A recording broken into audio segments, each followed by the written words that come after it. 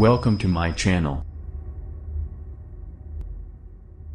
Congratulations for Professor Yoshinori Ohsumi with the Nobel Prize 2016 in Medicine.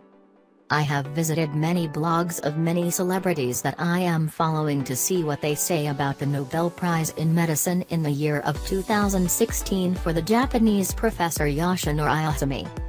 People's sayings that I mention here in this article are from a Vietnamese expert Professor Nguyen Van Tuan, and statements from Cori Bargmann, a journalist, some comments from New York Times newspaper and Chan Mark Zuckerberg Initiative fan page, Funds for Education Innovation.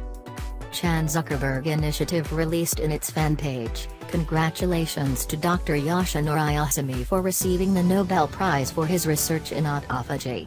His work to better understand a cell's internal cleanup mechanism, crucial to healthy cell functioning, is a leap toward greater understanding of the way our bodies work. It's the achievements of scientists like Dr. Ohsumi that make us confident that working together, we will prevent, manage, or cure all diseases in our children's lifetime. Cori Bargmann said, Sometimes when I come home, I realize that my house is not going to clean itself. However, unlike my house, cells in the body remove their own damaged and unneeded materials, and recycle them for future use, through a process called autophagy. Dr. Yoshinori Ohsumi's work on the mechanisms of autophagy defined its essential role in nutrient homeostasis, and also has implications for disease processes in neurodegeneration and cancer. An amazing body of work. Apart from New York Times' post, it is a crucial process. During starvation, cells break down proteins and non-essential components and reuse them for energy. Cells also use autophagy to destroy invading viruses and bacteria, sending them off for recycling. And cells use autophagy to get rid of damaged structures. The process is thought to go awry in cancer, infectious diseases, immunological diseases and neurodegenerative disorders. Disruptions in autophagy are also thought to play a role in aging. But little was known about how autophagy happens, what genes were involved, or its role in disease and normal development until Dr. Ohsumi began studying the process in baker's yeast. Some other comment from the blog of Professor Nguyen Van. This is a deserved reward for pioneering contributions of Ohsumi in 30 years. To understand the significance of the research of Professor Yoshinori Ohsumi, we should start with the protein. Every day, our bodies have to remove the damaged tissues and proteins, and replace them with new tissues and proteins.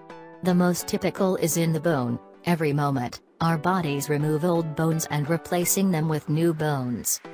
This cycle occurs on an ongoing basis, lifelong, very consistently with Buddhist philosophy. Buddha once said that the impermanence of aging and death, no one can escape, here morning gone evening and passed away in just a moment. It can be understood as the process of birth, removal in our bodies every second, until the day we leave this world. What Buddhist philosophy is very important for the scientific community, because based on that, we can be inspired and research ideas. Briefly, autophagy is the process of cell regeneration, Every day our bodies need about 0.8 grams per 1 kilogram of body weight. For example, I weigh 75 kilograms, the amount of protein I need is about 60 grams. Remember that is a simple estimate, but it is more complex in reality, because the amount of protein in our body also depends on many other factors. In general, our bodies need about 60 grams to 80 grams of protein per day, but every day, our bodies excrete about 70 grams protein. Cell regeneration mechanism has a great significance to almost all subjects. This mechanism explains why we can survive in hunger periods. Autophagy mechanism also explains why our bodies can repair damaged bone and heal after fractures as an example. However, as Professor Ohsumi said, the process of cell regeneration is still in its infancy, so there are a lot of questions without for the final answers.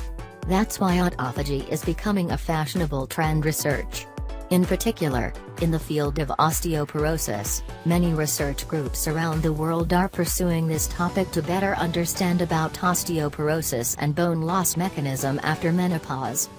Professor Yoshinori Ohsumi had some great advices for young scientists. He said that after a period of struggling with the orientation of others that failed, he realized that he must have own way. He said I wanted to do something different from other people. I thought auto decomposition was going to be an interesting topic, topic,